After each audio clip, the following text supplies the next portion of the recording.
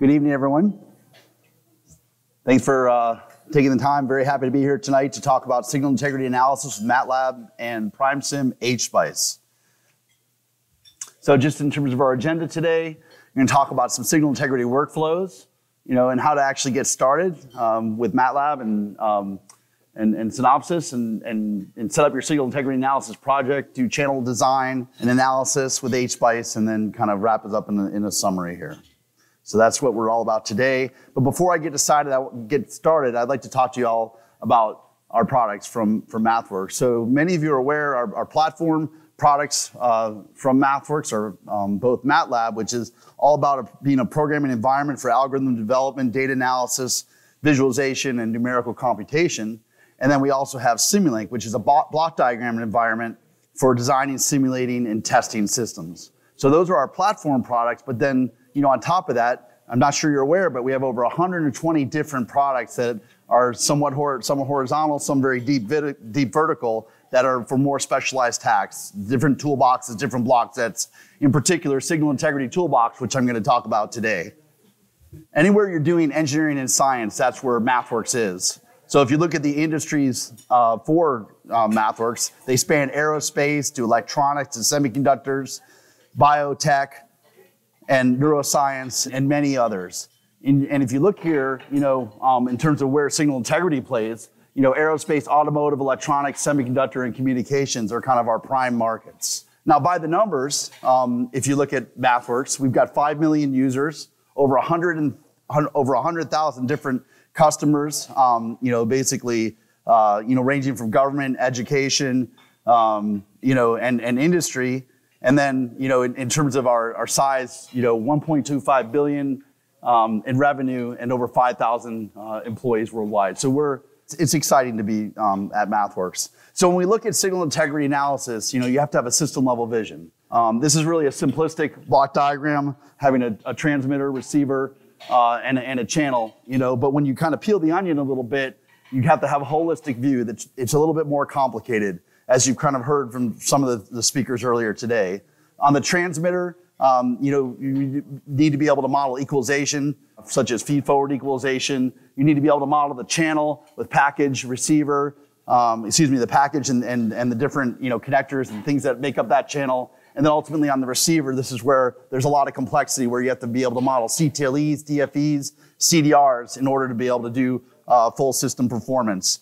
And ultimately, you're doing this because as you're transmitting the ones and zeros down the channel, you know, you've got the impairments that get introduced through crosstalk, noise dispersion, loss, and then ultimately when you're trying to receive the signal at the end, you know, that can get distorted and it's almost, it can be very difficult to recover the zeros and ones without actually having, you know, the DSP, IBIS AMI, or equalization algorithms that, that, that can resolve it. So together, MathWorks and Synopsys actually solve these complex issues. And how do we do that? Um, well, from, from SciSoft, I mean, excuse me, from MathWorks, we offer Signal Integrity Toolbox. And, you know, Signal Integrity Toolbox um, has, you know, workflow with HSpice, PrimeSim HSpice in the loop. And how does this work? Well, you know, starting off, um, you know, we, we look at it, we have IBIS AMI models. So MathWorks offers a product called SerDes Toolbox. We'll talk about it in, in just a second. That's all about generating IBIS AMI models. Those IBIS AMI models can feed directly into Signal Integrity Toolbox and ultimately drive an in-the-loop simulation with, with, with HSpice, as we'll, we'll talk in a little bit. But also you can take the IBIS AMI models out of SerDes Toolbox and feed directly into uh, PrimeSim HSpice, just like Randy showed in his presentation today, which was really great. And then, you know, we can take IBIS AMI models, obviously, from, from a third party. So in terms of modeling the transmitter, the receiver, the equalization, this is kind of the workflow. And in, in point of fact, most IBIS AMI models in the industry today come directly from SerDes Toolbox. Beyond that, you know, it's how to, oops, excuse me. Beyond that, it's how do we, how do we model the, uh, the, the channel? And so, you know, um, you know, obviously you can get S parameters from different sources. You know, the other product that we offer for doing for generating S parameters is RFPCB Toolbox. With RFPCB Toolbox, you can actually, um, there's high fidelity electromagnetic modeling solvers in there. We can actually import printed circuit board databases or create structures and generate S parameters to model your channel. Or you can actually take pre-layout models and, of the channel and bring them directly into Signal Integrity Toolbox from various sources and, and simulate them. So let's kind of look at this a little bit differently from a persona perspective.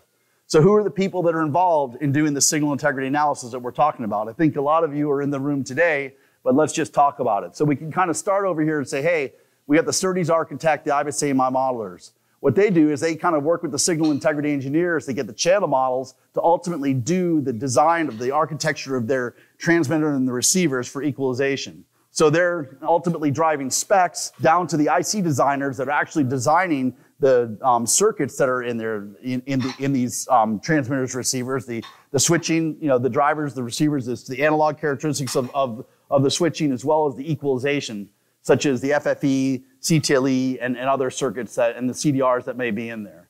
Then, you know, as these circuits become designed, uh, there's characterization data. For example, with a CTLE, continuous time linear equalizer, you may get a family of curves, transfer functions that come in and you want to go ahead and integrate those um, in your IBIS AMI model workflow. So we would, you know, the SerDes architect would, would need to be able to do that and take that from the, the circuit designer, ultimately handing these IBIS AMI models off to the signal integrity engineer who's going to actually um, design their channel, come up with the rules, do pre-layout analysis, solutions-based analysis, as some of our speakers were talking earlier today, to ultimately determine what the constraints are, drive those rules down to the PCB layout engineer, who's then going to route those boards. We're going to get those boards coming back up to the signal integrity engineer and do post-layout verification. So these are the personas that we see are involved, you know, in this whole signal integrity workflow.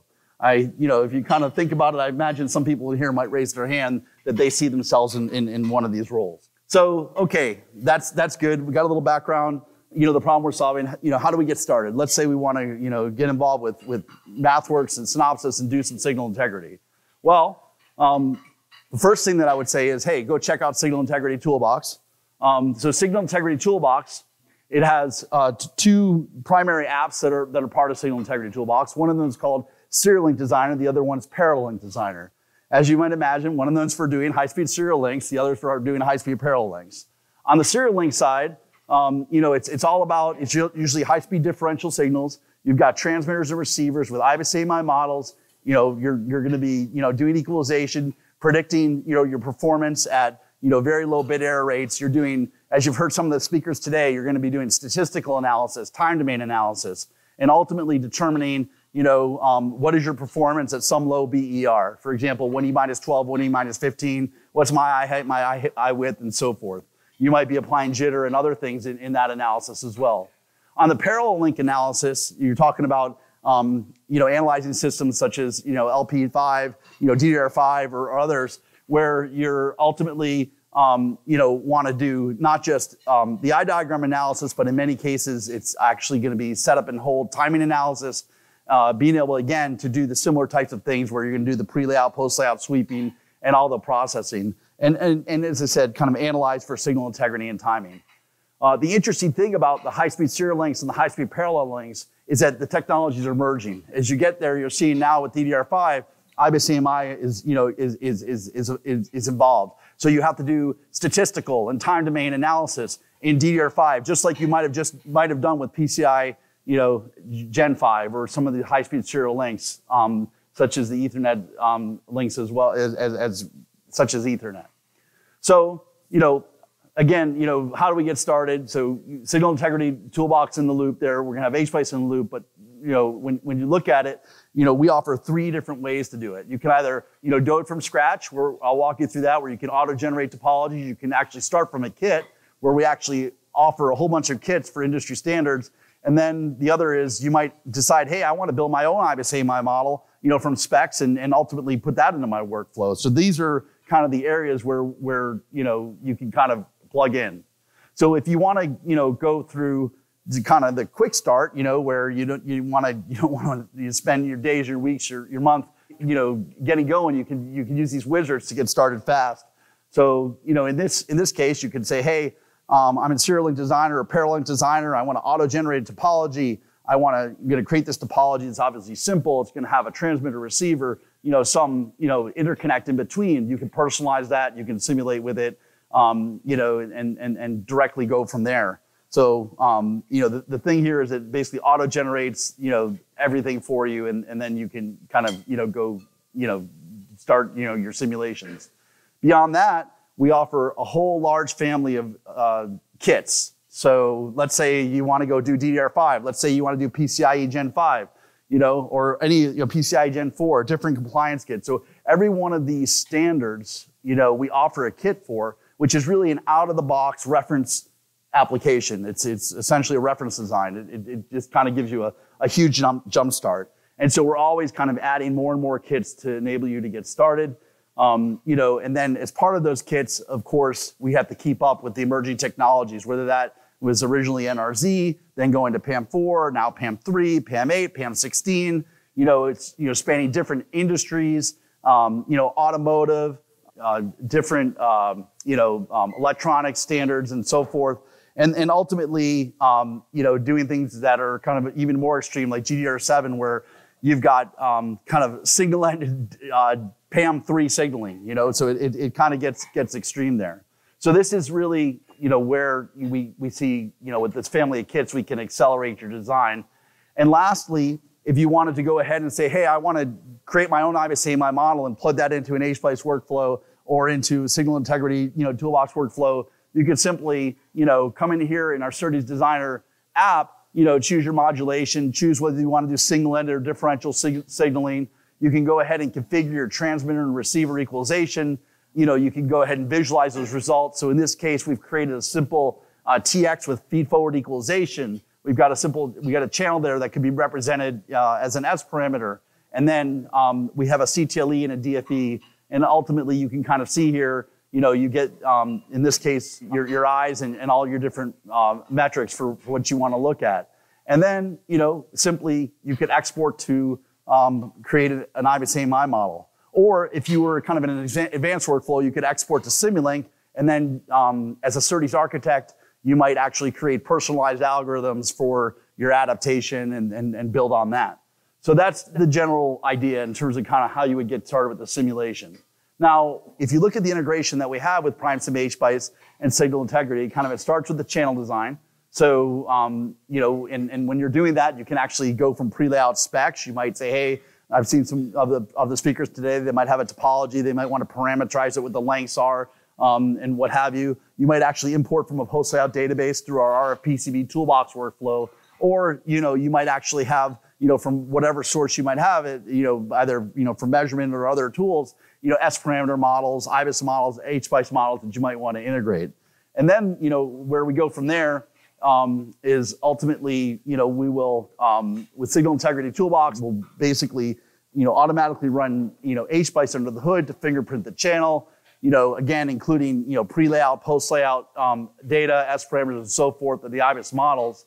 We'll fingerprint that. We'll um, then in the signal integrity workflow, we'll take those responses, we'll include the equalization, um, you know, essentially um, apply uh, the IBIS AMI models either for statistical or for time domain analysis. If you've got HSpice models for your transmitters and receivers, uh, we'll configure those if they're parameterized, such as if you have things for drive, you know, impedance or things like that, or different corners. And then, you know, again, running the statistical and time domain uh, simulation. And in the end, again, using HSpice as, as, a, as a simulation engine. Now, this means, you know, implicitly that we support, of course, encrypted HSpice models through this workflow. And the other thing that we do um, is we have a parallel computing toolbox that enables us to scale simulations to hundreds or thousands of simulations, uh, depending on, on what your environment is. And then, um, you know, and then that's basically how it goes. So if you want to, you know, run, you know, large number of simulations, you could set up your design space, you could sweep. Um, in this case, we're just setting up a case where we're, we're sweeping some, um, you know, impedances and some lengths and some skews, and we get 495 simulations and then it becomes very easy. You simply press the button, you know, and, and it essentially generates all the HSpice simulations. It runs them under the hood, and then you can look at the results, right? So in this case, we're simply showing, you know, some insertion loss curves, thousands of simulations. You can look at hundreds or thousands of eyes, statistical or time domain eyes, and really kind of sometimes find the needle in the haystack when you're, you know, you know, evaluating systems. Or if you're bringing in, you know, your, your post layout databases, you can actually verify that your designs are, are compliant, you know, against a standard or, you know, against a spec that you're trying to meet. So in summary, you know, you, you can use uh, Signal Integrity Toolbox with PrimeSim HSpice to solve complex issues I've also introduced SerDes Toolbox, RFPCB toolbox, that are other flows that can create IBIS AMI models, um, you know, and, and S parameters that can feed into the workflow. Um, and if you'd like to learn more, certainly, you know, you can come talk to me, or some of my team here, or visit us at our booth um, at DesignCon. So thank you very much.